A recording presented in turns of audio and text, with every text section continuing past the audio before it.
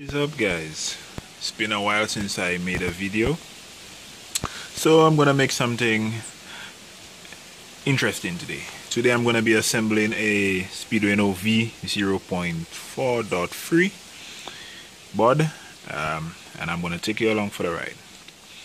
Alright, to do this, um, it's gonna be very simple, no special tools.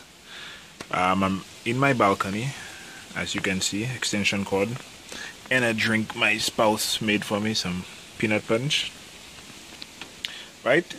And let me walk you through what we have going on here. We have an Arduino Speeduino board um, some solder Harman enclosure and the components which go on the Speeduino board. And I also have an old toenail clipper which I'll show you what I use that for. The components are I think 33 pack packages. Um, I got them from Weaver at WTM Tronics. Pre well packed package. Okay so everything is labeled and shows you pretty much exactly where everything is going. So on this one we have resistors and it gives you the value of the resistors and where exactly they go capacitors map sensors and whatnot and whatnot. All right the Speeduino site gives you a brief description as to how to go about soldering this. Um, it's a pretty good guide. Uh, you don't have to follow it in the exact steps, but you you should since it covers the easiest route. Um, but it's freestyle. You do it exactly how you want. Some components may be a bit more difficult than others to do, but in the end, you just solder in components, double check everything, and it's a pretty easy task. Alright, so let's get started. So I'm gonna get started with the resistors. I have all the resistors right here. The labels and this is the board. As you can see, the board is labeled. R would be resistors and the D's would be diodes and the C's would be capacitors. But everything you see here is also on the pack. So for instance, we have R1, R11, R14, R17. So each of these go into here. So you would look at the board. So you would find R11 right here and so on and so forth. So I'm going to start off with the resistors and I'm going to show you how I do it. Okay so we're going to start off with this pack right? So I took one of them out and this is the resistor. First one says it goes to R11 so you locate R11 on the board. There we go here so it fits just about so. So what we're gonna do we're gonna bend the resistor right here right at the end and then fish it through. I'm gonna do one of these and then I'm gonna carry out the rest. Okay so this is it bent 90 degrees at the end of the resistor. Whoa. The wind just flew away one of my packs. But anyways I'll get that in a second um, so yeah so we're gonna be let me try to do this with one hand for you guys. Uh, okay. Trying to right? So goes in like this. And on the back of the board all you simply do is bend the legs outwards so the resistor stays put and then I cannot show you how I solder because I, I need both hands to solder but you would go in there if you're solder and your soldering iron and then just solder right here. And with the first resistor soldered in this is what we're trying to accomplish. Solder joint. Let's see if the camera will focus. Yes so we're looking at a solder joint something shaped like uh, one of those Hershey's Kisses right? And the toenail clipper what I do well the nail clipper I just go in with the clipper like this and just cut off the excess.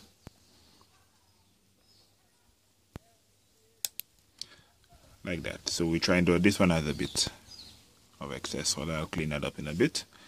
But this is what we essentially trying to accomplish. And kitchen mat the reason I like to use it it's really soft so it applies even pressure across the solder the components sorry. So you can see my resistor is soldered in. Yep so the the kitchen mat on the chair applies even pressure.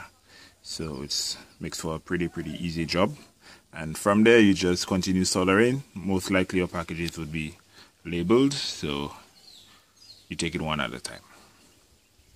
So guys at this point all the capacitors are in and soldered um, when you're doing this um, if you're a novice try not to do everything at the same time. So you can split up in maybe groups of 10 so you do this 10 or this 10 uh, but when you have about 30 odd capacitors um, resistors to solder in it gets a bit clustered and it's a bit difficult to do so.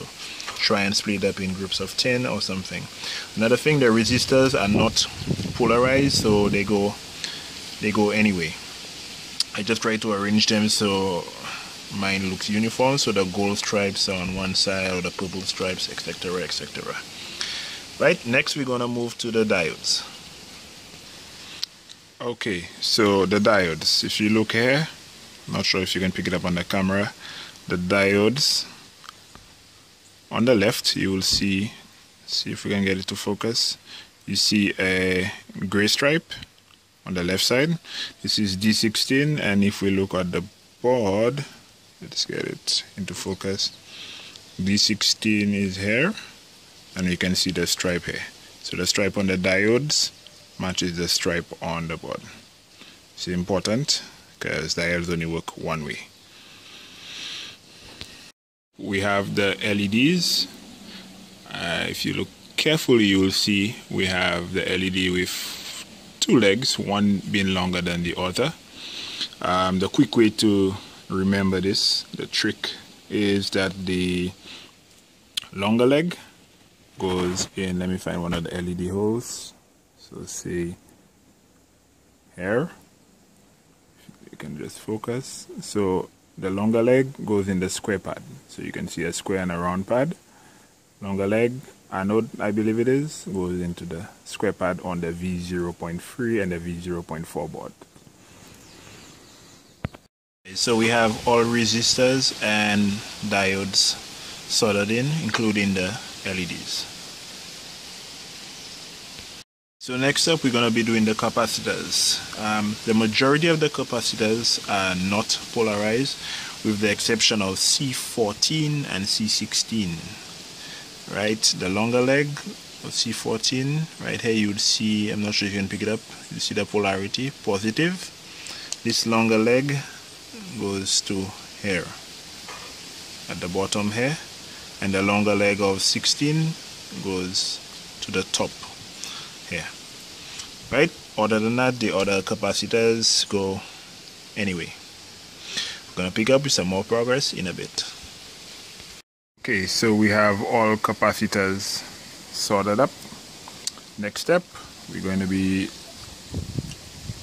installing these pin headers. Um, the trick for this is the board. Uh, trying to do this with one hand. The board goes on the Arduino like this with the pin headers going through the Arduino and then through here. So the trick is you break the pin headers put them in there like so you break it do this for every slot including the back then you fit the board through the pin headers and then you solder at the top pick up with some more progress. Alright and this is the Arduino with the pin headers. Has a long end and a short end. So the long end goes into the Arduino and then the short end will be going through the PCB and you'll be soldering to the top of that. So let me try and fit this with one hand. Okay I'll pick up after I fit this. Uh, right here the pins are through the board so we'll be soldering up all of these right? And the board also has some other jumpers. Let me see if I can get this. For instance we have two here two here three three. There are five of them in total. So we're also going to do that and solder everything up. Okay so the pin headers for the jumpers are soldered up and those at the bottom. Right next step we're going to do the screw terminal for the power and the ground and the IDC connector. This IDC connector. Um, some folks choose to solder directly well to the board here. So if you planning to just put wires in there and solder out you don't need to put the IDC connectors. Um, in my case I'm going to leave it so I'm going to solder that in now so the IDC connector if you're using it has this slot here. The slot matches with this white box you see right here. Just thought I'd mention that. Okay so the IDC connector is soldered in. The screw J-free the screw connector. Make sure the screw terminals are well the screw receptacles wire receptacles you get my drift are facing on the outside um, next up you would need to put the sockets here. Uh, in my case I don't have the sockets for IC1 and IC2 which are the coil drivers. Where did I put it? So I'm just gonna solder them directly into wait I got it. So there they are. Um, if you look here I see one you would see sort of like a piece missing here. This lines up with the half moon right here the piece where it misses where it's missing. Well the part of the IC which shows the half moon. So this half moon goes here and same goes for here. You will need the socket for IC3 since the VR conditioner goes here and then we'll also put IC4 so you need sockets for here here one two and four. But you pretty much use sockets for all all four however you can solder one two and four directly to the board. IC3 you can solder the VR conditioner directly to the board but I prefer putting a socket here. So we'll pick up with that progress. Okay so the coil drivers are in. IC4 as well. The female header for the VR conditioner comes in two pieces. That's in. You would also put in the header for the stepper motor. I'm not going to be using that so I won't bother putting that in. Um, next step we're going to put in the MOSFETs. There are eight of them. One two three four and power regulator as well and U2 right here. So with the MOSFETs, it will go from, they will on the board they label Q1 up to Q8. Only thing you need to note, if you look for instance, let's say Q8 here, you see the three holes and then you see these three smaller rectangles. The smaller rectangles aligns with this tab. So in that case, the case of Q8, it will be going in like this.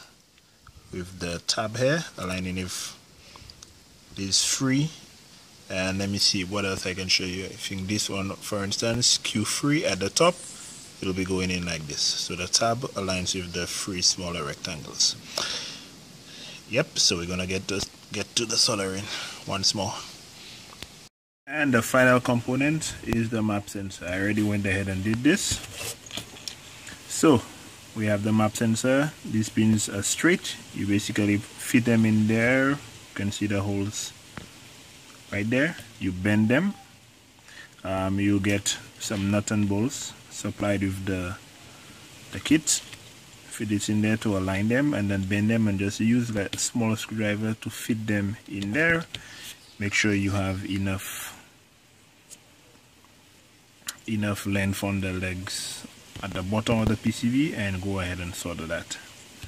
And that would pretty much be your V0.3 you'd also have jumpers set a couple of these jumpers where this they come out like this. So you use these to set your trigger input style. Sorry about that.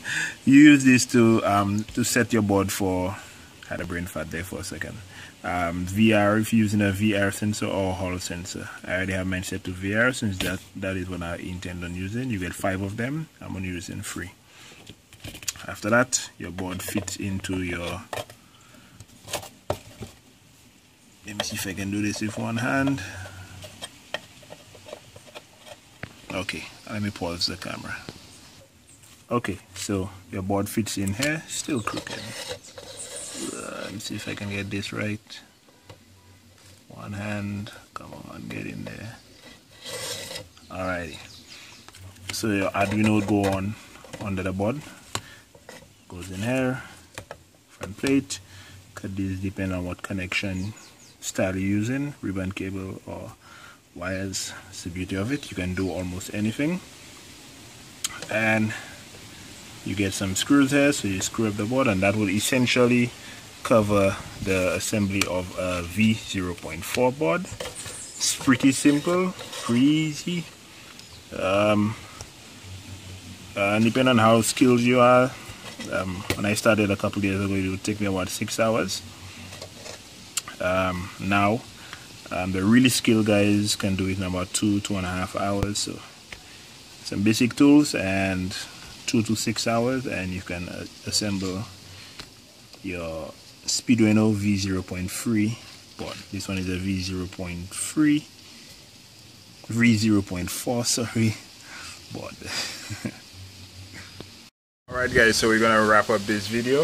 Um, so yeah wrap up V0.4 assembly, pretty simple. Um, basic tools, all you pretty much need is a soldering iron, some solder, and some time. Alright, so hope you guys enjoyed. Hope this, there was a V0.3 assembly guide already, so I just figured I'd make the V0.4. Um, hope this is helpful, hope it helps someone. Also, um, I meant to do this on the last video, but I want to say big thank you. Currently, we have two Patreons, Patrons, Patreons um, I think we have Christian Dumortier. I hope I didn't butcher your name. And we have Dylan Idol. Thank you guys so much um, for becoming patrons to the channel. Um, every little bit helps. Thank you guys a million. And like always, guys, like, subscribe, share, leave a comment down below, and I'll catch you guys in the next one. Till then, guys, stay safe.